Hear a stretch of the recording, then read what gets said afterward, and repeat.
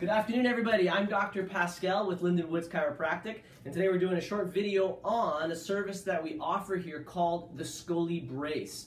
Now, the ScoliBrace is not like your conventional uh, scoliosis brace. It's different in that it is a 3D mirror image brace. That's a fancy way of saying if the patient was shifted, bent, and rotated, the brace does the 3D mirror image and holds them in that position so we have overcorrection the goal being to prevent the scoliosis from getting worse, but at the same time, ideally even getting some curve correction.